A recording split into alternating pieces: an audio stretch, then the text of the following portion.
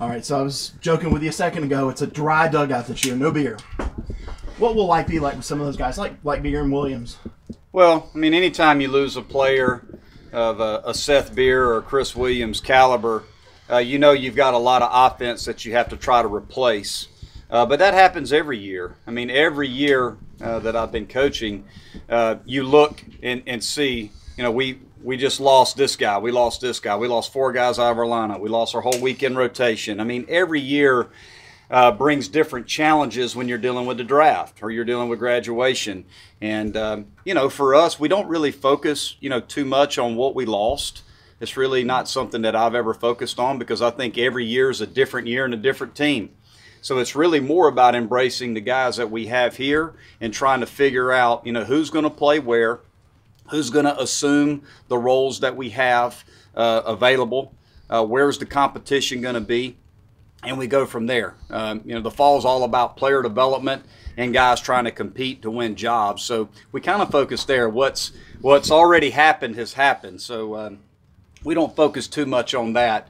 Uh, we'd love to have a player uh, like a Seth Beer uh, and a Chris Williams in our lineup, and hopefully some of the guys that we brought in uh, will be able to compete for jobs.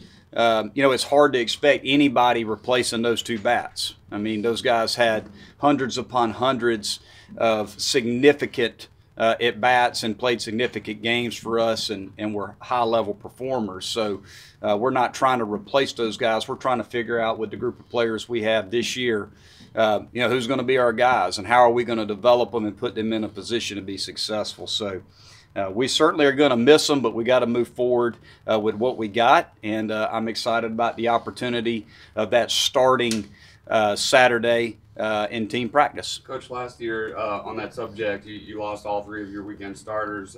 this year, you, you got Hennessy and, and, Crawford back. How big is that, especially to get Crawford back? Well, we've got two guys back that threw, you know, over 150 innings uh, between the two of them. So uh, that's always a good place to start. You know, anytime you can get one, uh, and in this case, two weekend guys back, along with a Spencer Strider. You know, Strider pitched an awful lot for us last year as a true freshman, made some significant starts, uh, pitched meaningful innings out of the pen. Uh, you know, we've got a, a good nucleus of starting pitching back. And now uh, we've got a, a, really talented group of freshmen, first year guys in here that we feel really good about. It's just a matter of getting those guys in live game situations this fall and seeing what they can do. You had several guys that turned down a lot of money to mm-hmm. come to Clemson. How important was that? Well, it's really important. I mean, we're very grateful to have uh, the guys um, show up at school, uh, turn down the opportunities to sign professional contracts. We had a few guys drafted. Uh, and we had some guys that, that walked away from some significant money. So uh, this is a talented group. This freshman group that we brought in is very, very talented. Uh, it's it's probably a little more arm heavy, pitching heavy. Um, than it is position player heavy, uh, but we really like what we're seeing out of a number of our first year pitchers uh, and position players, we feel like we're a little more athletic, just watching the guys move around on defense and run around uh, positionally. And, and I think that this is a pitching staff, this group of newcomers um, has more projection. They're bigger body guys that I think are going to throw harder. Uh, so uh, we really like what we brought in. Coach C, Coach LeCroy, uh, those guys did um, a really good job of, of, of of bringing in some high level talent for us. So uh, we're excited about our newcomers. Coach, you think Sharpe has a pretty good chance of, of being a two way player for you, and uh, you think we'll see more of that from Weatherly as well? Uh, it's a good question. Uh, we're going to give Sharpe every opportunity uh, to be a two way player. Uh, we're also giving Justin Robleski, another true freshman, who's a really good athlete, a left handed hitter, outfielder. Um, we're giving him a chance uh, to do both as well. Uh, Weatherly, we're just going to have him focus on pitching, and that was a decision um, that that he made uh, over the course of this summer. Just felt like trying to do both was probably taken away from both, um, and wanted to focus on pitching. He feels like his future. Uh, is going to be more on the mound. And we had that discussion before the school year started that he just wanted to come back as a pitcher and focus strictly on pitching. And you know, so far he's looked really good doing that helps to have somebody like Logan to build an offense around who's a a potential player of the year candidate nationally. Well, you got a guy in, in Logan Davidson that's uh, going into his third year in the program's played every day at shortstop. We all know how important the shortstop position is on the field in terms of leadership. Um, he's a plus defender and he's and he's an, a he's above average hitter and he's a really good athlete and uh, he's a tremendous leader. So uh, anytime you can return a guy in a key position like shortstop uh, in Logan Davidson, you feel really good about it. And you know, there's a number of other guys. You got Kyle Wilkie uh, who's in his third year in the program, was an all ACC guy last year. You got Jordan Greenback, who's played an awful lot of baseball here and looks really good right now. You got Grayson Byrd, and Birdie's healthy right now. Uh, another guy that's had two full years of playing every day in our program. You know, so we got four guys back that played every day for us uh, for uh, you know last year from last year's team, and a couple of those guys played multiple years for us. So we got a good nucleus. It's just a matter again of the guys like the Sam Halls and the Bryce Teodosios and the Kier Merediths. You know, you look at those three guys that played some as freshmen, had some injuries. Two of the three had some injuries. You know, but can those guys make that next step? And if they can, you know, then we have a chance to be a, a pretty good ball club. Grayson get a shot at third. Yeah, we're going to play Birdie over at third base. Uh, I've got him playing some at first as well. Uh, and and really, you know, one thing we try to do in the fall is move guys around. Uh, simply because we don't want guys to focus just on one position. If we have a kid that can come in and help us and, and he's more acclimated to playing in a spot that we got another player that's going to play every day, we if we have that flexibility of moving a guy in a couple different spots, we could put our best nine on the field and uh, just makes life a little easier for us. So we move guys around in the fall a good bit. But Birdie's going to obviously do a majority of his work at third base, but we could see him play some first, maybe even stick him at second some if needed. Um, but he'll primarily work out at third base.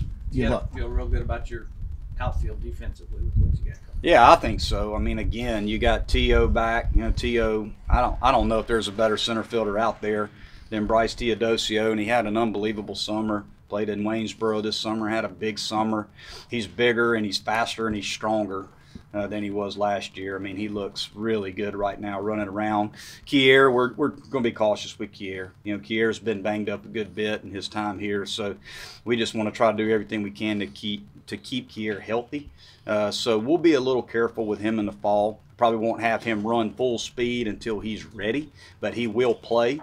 Uh, and then you got Sam Hall, you know, kind of the jack of all trades, you know, the super utility guy who can play pretty much, uh, you know, everywhere and anywhere needed. So Sam's going to move around, and and then we got guys like Matt Cooper.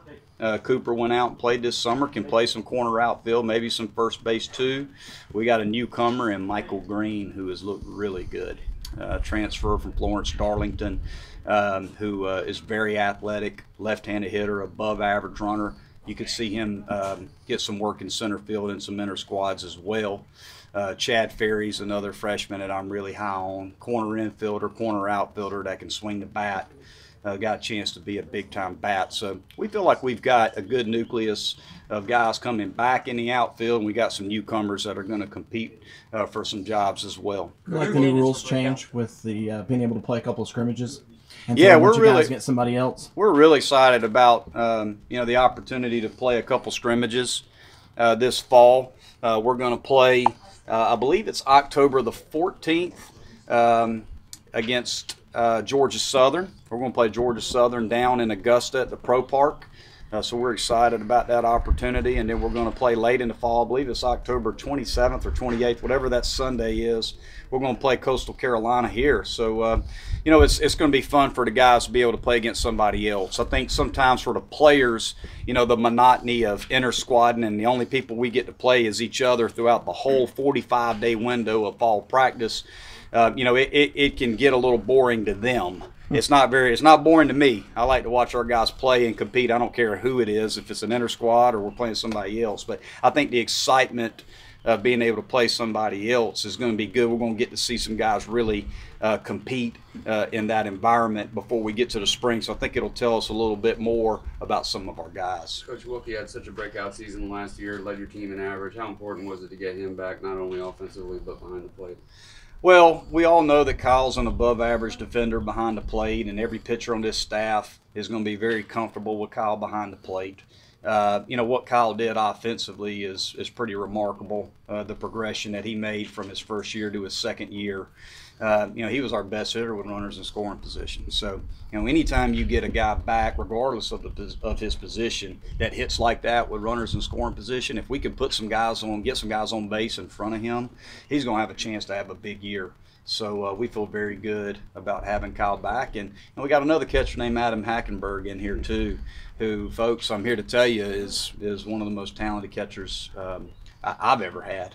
I mean, he's big, he's strong, um, he's athletic, he's got power, he can catch, he can really throw. He's going to be a big time player for us. It's just a matter of, of trying to fit both of those guys in behind the plate and keep uh, keep their bats in the lineup. Uh, so it's going to create uh, a good problem for me. Uh, but um, Hackenberg's very, very good um, and is going to continue to push Kyle, which is a good thing. But we feel very good about Kyle, feel really good about Adam behind the plate, feel like we got two guys that are going to be very good for us. It's obvious that fall ball is time for you to evaluate players you already have and, and see how